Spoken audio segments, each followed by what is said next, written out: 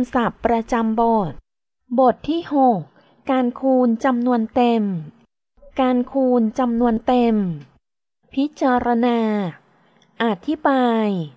ตอบ การคูณจำนวนเต็ม 1. การคูณจำนวนเต็มบวก ด้วยจำนวนเต็มบวก การหาผลคูณต่อไปนี้ 2คูณ9เท่ากับ9บวก9 ท่ากับ 18 4คูณ6เท่ากับ 6 บวก 6 บวก 6 บวก 6 เท่ากับ 24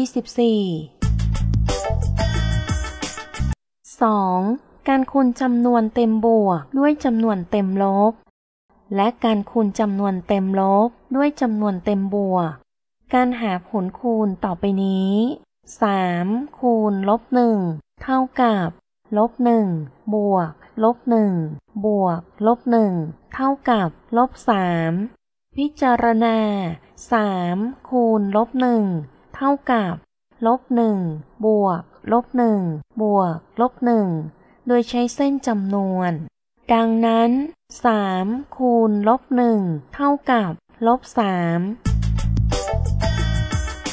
สองคูณ ลบสามเท่ากับลบสามบวก ลบสาม เท่ากับลบหกพิจารณา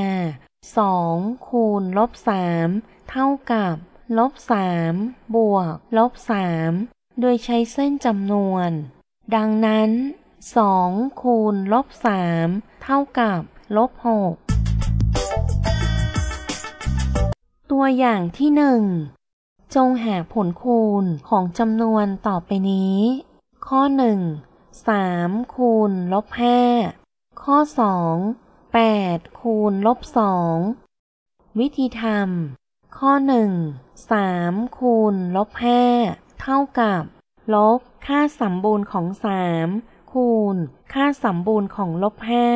เท่ากับ ลบสามคูณห้าเท่ากับ ลบสิบห้าพิจารณาสามคูณลบห้าเท่ากับ ลบ ค่าสมบูรณ์ของสามคูณ ค่าสมบูรณ์ของลบห้าโดยใช้เส้นจำนวน ดังนั้นสามคูณลบห้าเท่ากับลบสิบห้าวิธีทำข้อสองแปดคูณลบสองเท่ากับ ลบ ค่าสมบูรณ์ของแปดคูณ ค่าสมบูรณ์ของลบสอง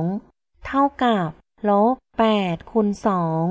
เท่ากับลบสิบหกพิจารณา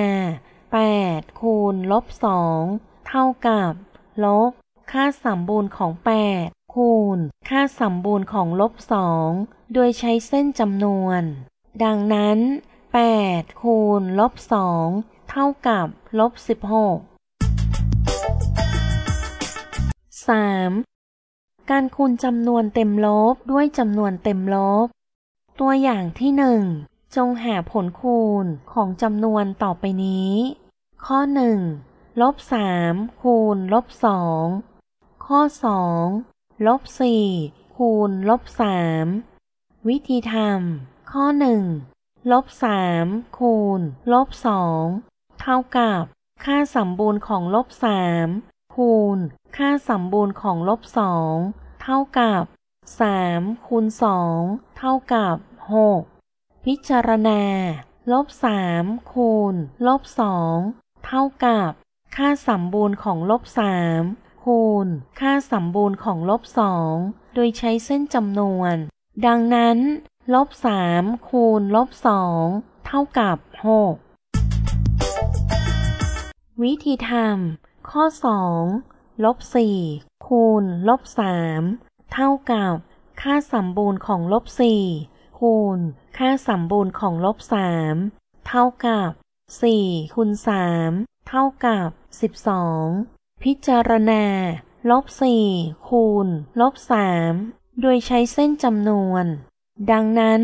ลบสี่คูณลบสามเท่ากับสิบสอง